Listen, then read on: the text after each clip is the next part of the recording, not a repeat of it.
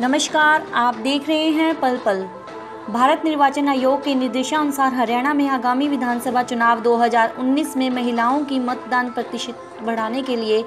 हर विधानसभा क्षेत्र में कम से कम एक महिला मतदान केंद्र और दो आदर्श मतदान केंद्र बनाए जाएँगे।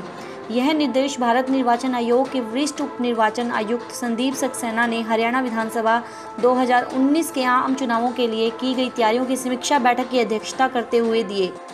इस बैठक में राज्य के सभी उपायुक्तों एवं जिला निर्वाचन अधिकारी, पुलिस अधीक्षक, मंडलायुक्तों और पुलिस आयुक्त उपस्थित थे और इसी के साथ देखते रहिए पल पल की एक खास रिपोर्ट।